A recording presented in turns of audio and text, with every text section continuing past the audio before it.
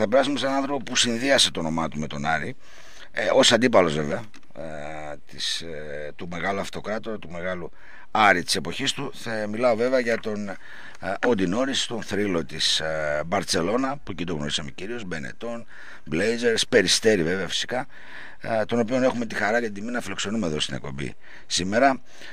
Mr. Norris. Hello. Hello first of all. How are you? I am fantastic. Thank you. How are you? Fine, fine. It's an honor to have you in the radio show, in our radio show. Uh, well, thank you for having me. Uh, I'd like to ask you first of all, uh, you have been here in Thessaloniki for a few days. Uh, I'd like to ask you first for the camp. You were a guest in a camp with uh, little children. How do you see all this organization? Yes, uh, it was well organized. I was invited to the camp by Demetrius Galanis. Yes, yes. A good friend of mine, and he did a outstanding job in organizing the camp, and the kids were really, really excited, and uh, thought they did a excellent job in organizing the camp and the exercises for the kids. Did the little kids uh, uh, learn something about you, about your history in basketball? Because little to remember you and see you when you played. Well, I think they did because uh, the parents of the kids remember me as a player. They were fans of Gavatis and Nogales, and you know, uh, they didn't like me too much as, as a player with basketball, but they respected my game uh, uh, as well, you know, because they love their eyes, artist basketball and uh, big, they're big supporters. So they spoke to their children about me as a player, so the kids uh, watched YouTube videos and what have you, so they, they had an idea of who I was and why, why I was um, uh, such a big competitor for, uh, for Aris. Mm-hmm. Uh, minute translate. Uh, Καταρχήν το ρωτήσαμε για το camp το οποίο ήταν καλεσμένος ο κύριος Νόρης uh, στο uh, camp το, οποίο, το οποίο ήταν επικεφαλής ο κύριος Δημήτρης Γαλάνης στο δεύτερο development skill camp του Θερμαϊκού Θέρμης είπε ότι ήταν μια πολύ καλή εκδήλωση ήταν εξαιρετικά οργανωμένο το camp uh, που τον uh, κάλεσε ο κύριος Γαλάνης ο φίλος του τα παιδιά ήταν ενθουσιασμένα uh, και ήταν πραγματικά μια πολύ καλή εμπειρία για μένα το να βρεθώ και να μιλήσω με μικρά παιδιά. Όσον αφορά το γεγονός ότι πολλά παιδιά σίγουρα δεν τον είχαν δει να αγωνίζεται και προφανώς ε, θα είχαν μάθει κάποια πράγματα για τον ίδιο όταν ήταν αθλητής. Είπε ότι εντάξει αρκετά παιδιά ξέραν, είχαν μάθει κάποια πράγματα, είδαν κάποια βίντεο ε, ξέρανε το ποιος είμαι και ότι έπαιζαν αντίον ε, του Άρη. Σίγουρα δεν τους άρεσε αυτό το γεγονός γιατί πολλά υποστηρίζουν τον Άρη αλλά σέβονταν το παιχνίδι μου, σέβονταν εμένα σαν αθλητή και ε, ήταν καλό το ότι είχαν μάθει και για μένα και για το τι γινόταν τότε ε, στα παιχνίδια του Άρη με την, ε, όταν ήταν αντίπαλος έτσι, του Νίκου Γκάλη. Uh, you have been here in Thessaloniki, you have met first of all uh, with Nikos Galis. I think that now you are a long friend with Nikos Galis. Uh, how was, was, was uh, your meeting with him? Oh, it was it was fantastic. Uh, yes, Nick Galis and I, uh, long long time friends. We became friends uh, uh, from our matches against each other, and you know, it, it, it's always been a mutual respect that we've had for one another. And, you know, since we retired from basketball, you know, uh, came to his, his retirement celebration, which was outstanding, by the way. uh, really good uh, retirement celebration that I just provided for Nick. And it's always always good for us to stay, stay in contact with the the original gangster of, of Aris. Ε, όσον αφορά τη συνάντησή του με τον Νίκο Γκάλη, είπε ότι σίγουρα είναι φανταστικά. Είμαστε φίλοι με τον Νίκο Γκάλη. Γίναμε μέσα τα παιχνίδια που παρότι ήμασταν αντίπαλοι τα μεταξύ μας παιχνίδια, αλλά γίναμε φίλοι. Έχουμε έναν αμοιβαίο σεβασμό ο ένας προς τον άλλον, γιατί και οι δύο είμαστε άνθρωποι που υπηρετήσαμε τον μπάσκετ. Είναι ένας εκπληκτικός άνθρωπος πραγματικά και ήταν και ένας εκπληκτικός ανδρητή. Μ' αρέσει πάντα που κρατάει επαφή μαζί του και έχω πάντα επαφή μαζί του. Ε, και είναι πάντα τιμή και χαρά να συναντιέμαι με τον original gangster του Άρη, όπως είπε συγκεκριμένα ο κύριος κύριος Νόρις. do you remember Uh, when we were with the Galis, any uh, game from the past, uh, any night that was uh, fantastic and was a nightmare for uh, you and your team? Oh, you can take your pick of a game. I mean, every game was a nightmare when we played against uh, Addington. But one game I remember most uh, is when they came to Barcelona to play. And you know the game was going down to the wire, uh, the last seconds, Yes. and you know Nick scored 45 points against us in our gym, and they won in the last seconds. Uh, you know, it was a game. You know, it was an unforgettable game. Uh, the, competition was always high against Aris and Nick Galis. So I mean, that's just one game. I'm, the, there are many more games I could talk about, but that's one that I remember him serving us 45 points. Ε, όσον αφορά το αν θυμήθηκαν κάποιο παιχνίδι, είπε ότι εντάξει, ε, διαλέξτε και πάρτε, είπε συγκεκριμένα ο Ντινόρη. Είναι πάρα πολλά τα παιχνίδια, αλλά αυτό που σίγουρα μου έχει μείνει εμένα στο μυαλό και πιστεύω και του ο Νίκου Γκάλη είναι το παιχνίδι με την, ε, στην Παρσελώνα, στη Βαρκελόνη, εκτός έδρας, όπου ο Γκάλης πέτυχε 45 πόντους. Είχαμε χάσει στα τελευταία δευτερόλεπτα. Το παιχνίδι ήταν πόντο-πόντο και ε, ουσιαστικά χάσαμε στην, ε, στα τελευταία δευτερόλεπτα. Ήταν πολύ μεγάλος τότε ο ανταγωνισμός ανάμεσα στους δύο μας και ε, στις ομάδες. Υπεραρχικά το επίπεδο ήταν αρκετά uh, υψηλό. Uh, after uh, Galis, one friend asks about your son. I have, uh, I, I think, he has uh, the name Nikos, right? Yes, he does. Yes, he does. Uh, you know, every every player has their their their special their special player that they they liked or their idol or whatever you want to call it over the years. And I, the first time I saw Nick Galis play, I was playing in Italy and, and, and with Benetton Treviso, and that first time I saw Aris and Tracer Milan play, you know, I always wanted to be on that level and play in a team that could play and compete with uh, the Greek team that I saw as a young player. And I eventually came to Barcelona where I could uh, eventually play against uh, Aris and play against Nick Galis. And, you know, from that point on, I had even more respect for him as a player. And even after, the, you know, after the games, uh, you know, we've always had respect for one another. So, I mean, he's that type of special player that left an impact on me as a as a player and a person. So uh, when I had my second child, you know, for me it was easy to find a name for him. It was Nikos. Uh, you know, it's very strange for uh, the people here in Greece for American player to give that name to uh, his son. It's uh, a little strange. I understand that.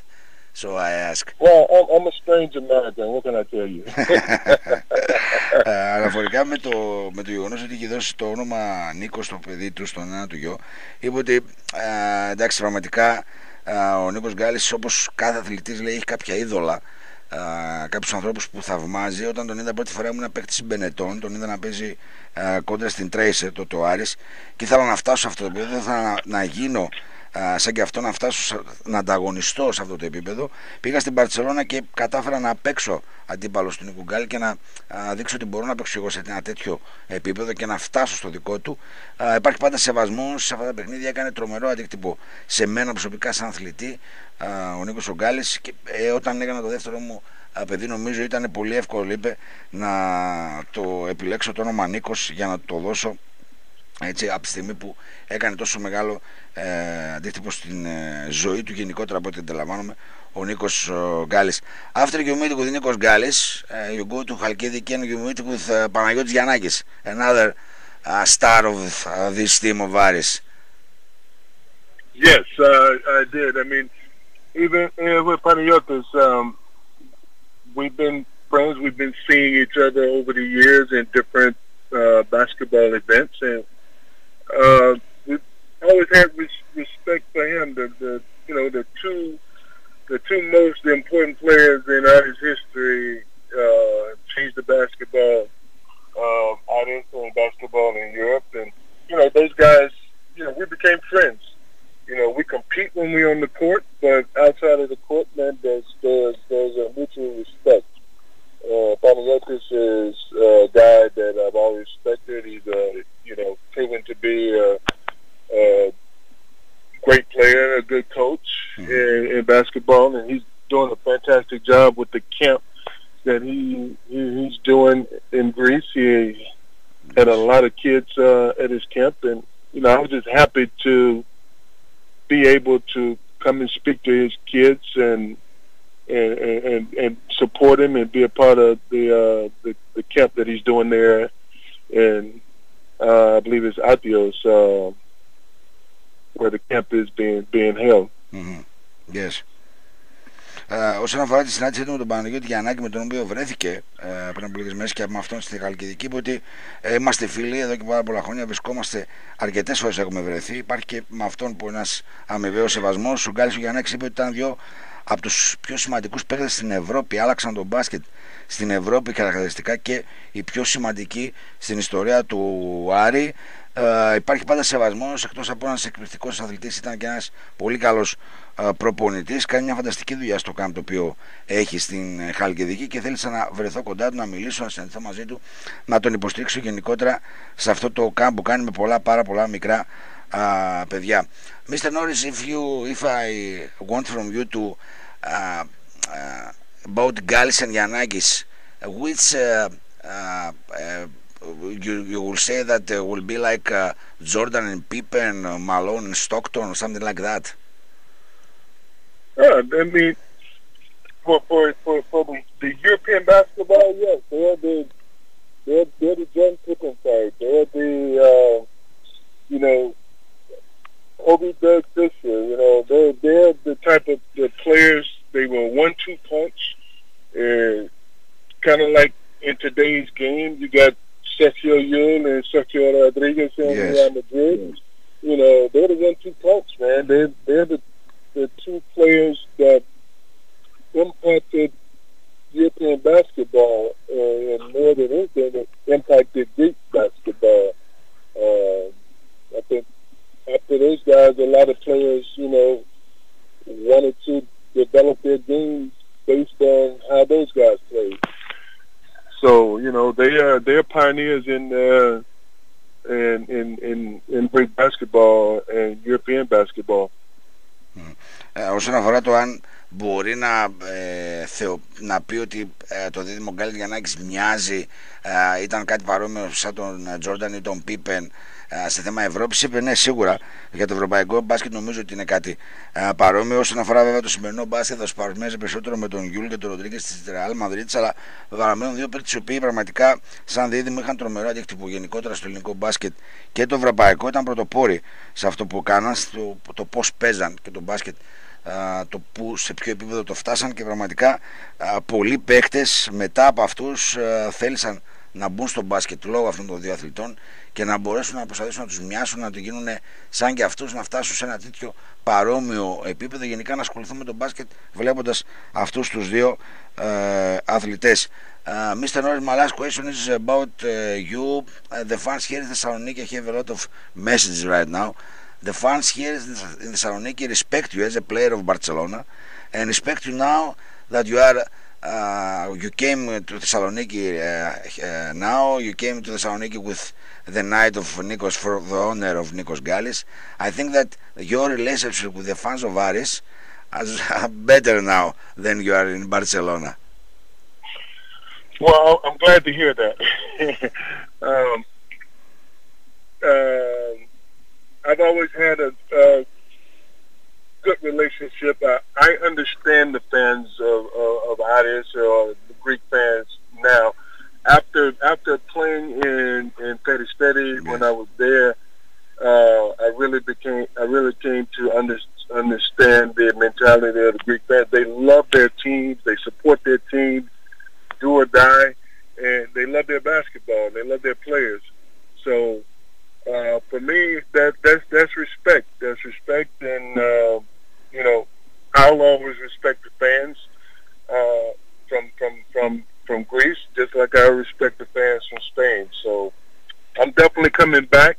I had a good time at Dimitris Galanis camp, and we're co- collaborating to do it again next year, mm-hmm. and uh, collaborating on other things to come.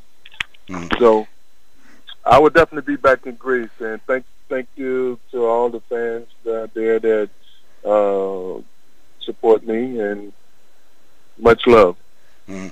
Uh, I, I, I read someone that uh, your son is uh, in uh, a very good player, also.